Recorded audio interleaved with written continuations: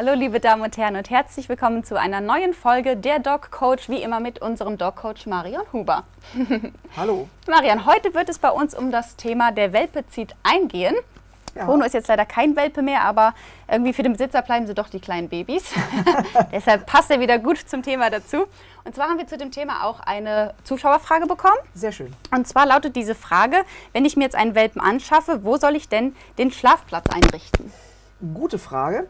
Ähm, also, im Endeffekt braucht der Welpe ähm, zwei Liegeplätze im Haus oder in der Wohnung.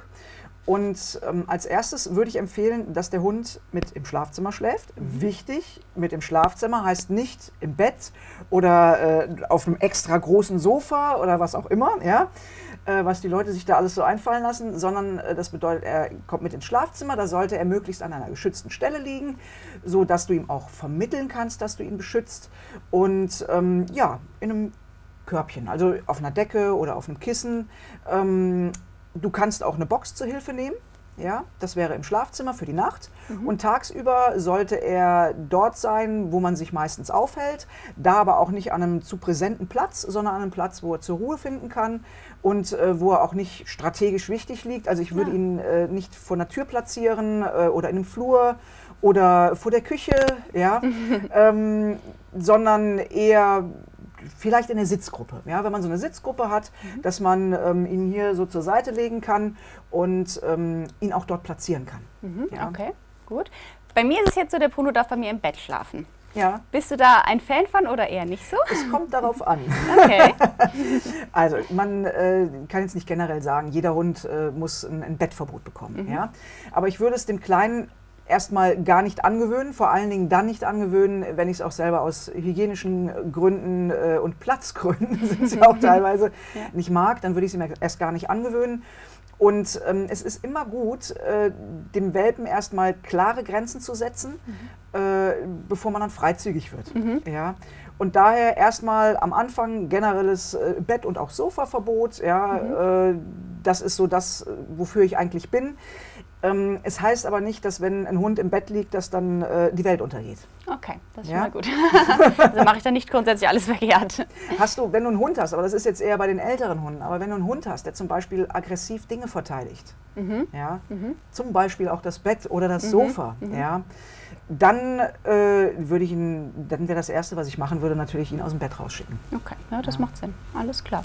Okay, was natürlich auch sehr wichtig ist, wenn der Welpe ins Haus kommt, ihn Stuben reinzubekommen. Ja. Wie schaffe ich das denn am besten? Also wichtig ist, dass du nicht darauf wartest, dass es dir der Welpe anzeigt, mhm. Ja, mhm. sondern ähm, dass du feste Zeiten einrichtest.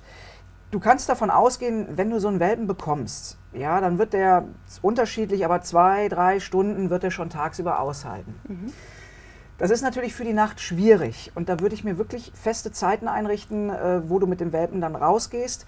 Und wenn der Hund, nehmen wir an, drei, vier Stunden am Tag aushält, über Tag aushält, ähm, dann musst du eigentlich alle zwei Stunden raus. Mhm. Klingt gruselig, ja, ist auch gruselig, aber ähm, das wird sich auch schnell steigern das ist ja im Endeffekt ein Training der Muskulatur. Ja? Und äh, die Muskulatur entwickelt sich schnell, wenn du ein paar Regeln einhältst. Mhm. Ja?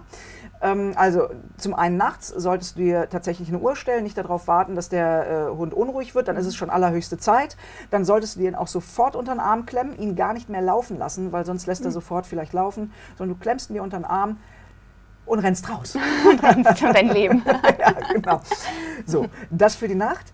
Aber im, im, Groben kannst du dich auch an folgende Regeln, also für tagsüber kannst du dich an folgende Regeln halten. Ähm, wenn der Hund getrunken hat, wenn der Hund geschlafen hat, also gerade aufgewacht ist, wenn der Hund gefressen hat, wenn der Hund gespielt hat, also, also im Endeffekt alles, was den Stoffwechsel anregt, ja, mhm. dann solltest du pro forma mit deinem Welpen rausgehen. Okay. Also mhm. nicht sagen, jo, gestern hat er vier Stunden durchgehalten, mhm. dann lassen wir das jetzt mal äh, so und gehen erst nach vier Stunden raus, sondern wirklich, wenn du merkst, dass diese Dinge, die ich gerade beschrieben habe, ähm, stattgefunden haben, mhm. dann gehst du auch auf dem schnellsten Wege mit deinem Welpen raus. Okay. Und da meine ich auch wirklich auf dem schnellsten Wege, weil häufig ist es wirklich, äh, der Mensch war zu langsam. Deswegen wird aus dem äh, Thema Stubenreinheit unter Umständen ein Problem. Mhm. Ja. ja. Also du musst schnell sein, feste Zeiten vorgeben und dann würde ich auch noch Folgendes machen. Wenn du draußen bist mit dem Welpen, ähm, während er macht, sag irgendwas. Mhm. Ja, da mhm. kannst du sagen, mach Pipi, mach mhm. Häufchen oder mach mal, ja, mhm. oder was auch immer.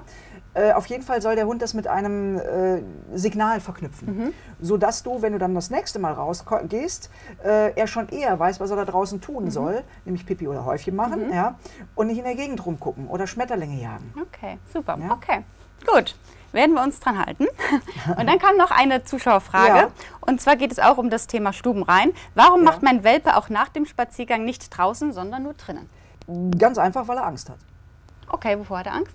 Ähm, vor dem großen Bären, der ihn fressen könnte. Nein, also Hunde sind territorial veranlagte Wesen. Und wenn du mit dem Welpen rausgehst, dann ist das ja nichts anderes, was er da draußen macht, wenn er äh, Pipi und Häufchen macht, äh, markieren. Mhm, mh. Der sagt also, dass er da ist. Mhm. Und ein Welpe sollte möglichst unauffällig bleiben, weil der äh, ganz schnell, ja, tatsächlich gefressen werden kann. Die Konkurrenz äh, sieht ungern neue Hunde im Revier, ja. Mhm. Und äh, da hat die Natur das einfach so eingerichtet, dass ein Welpe da ein, ein natürliches äh, Verhalten zeigt, das eben nicht zu tun da draußen und so auffällig zu sein. Ah, interessant. Ja, und Darf deswegen da haben wir auf jeden Fall was dazugelernt, das wusste ich nämlich noch nicht. Ja. Dann auf jeden Fall schon mal danke für die tollen Informationen. Sehr gerne. Ich habe einiges gelernt, Sie sicherlich auch. Und wenn auch Sie Fragen haben zu Ihren Hunden, zu der Hundeerziehung, dann schreiben Sie uns gerne eine E-Mail an info.drf-tv.de. Dir lieben Dank, Marion, und wir sehen uns beim nächsten Mal wieder. Jawohl, bis dann.